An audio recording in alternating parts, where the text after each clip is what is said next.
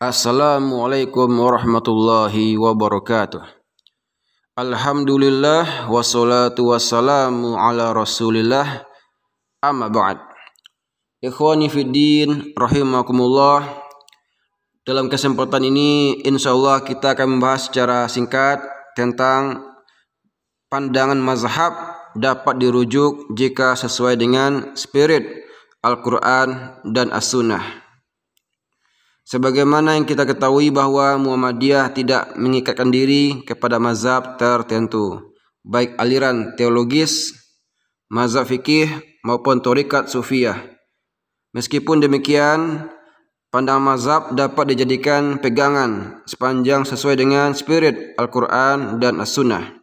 Karena bagi Muhammadiyah, kedua sumber pokok ini merupakan inspirasi utama dalam menyusun hukum melaksanakan ibadah dan membangun peradaban.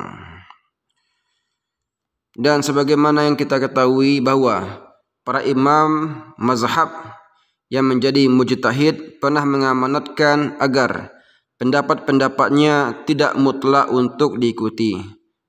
Mereka khawatir boleh jadi terdapat kekeliruan dalam mengemukakan suatu pendapat. Imam Abu Hanifah rahimahullah pernah menyatakan bahwa manakala di antara pendapatnya ada yang berselisih dengan Al-Quran dan hadis, maka pendapatnya itu tak perlu untuk dirujuk. Kemudian, Imam Malik bin Anas rahimahullah menegaskan bahwa dirinya hanya manusia biasa yang kadang benar, kadang salah. Sehingga pendapatnya yang sesuai dengan Al-Quran dan Sunnah silakan dirujuk.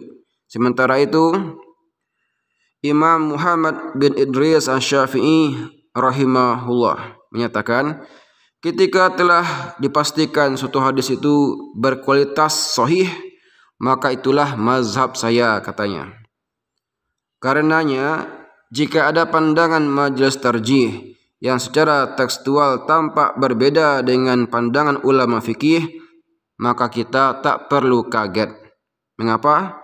Karena ada panduan seperti itu. Nah, akibat dari pemahaman ini tidak sedikit yang menuding Muhammadiyah sebagai golongan yang anti mazhab. Padahal dalam banyak hal Muhammadiyah justru memiliki kesamaan dalam argumentasi hukum dengan ulama mazhab. Misalnya, pandangan Syafi'i tentang badal haji. Menurutnya, badal haji tidak sah apabila tak dikerjakan oleh pihak keluarga. Dalam hal ini, Asy-Syafi'i menegaskan bahwa nas Al-Quran yang qad'i dapat ditaksis oleh nas hadis ahad yang zoni.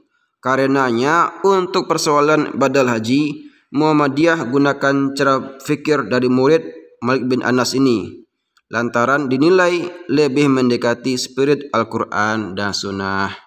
Demikianlah sekilas tentang pandangan mazhab dapat dirujuk jika sesuai dengan spirit Al-Quran dan Sunnah. Semoga bermanfaat. Nasrum minallah wa fatun qarib wa basyiril mu'minin. Wassalamualaikum warahmatullahi wabarakatuh.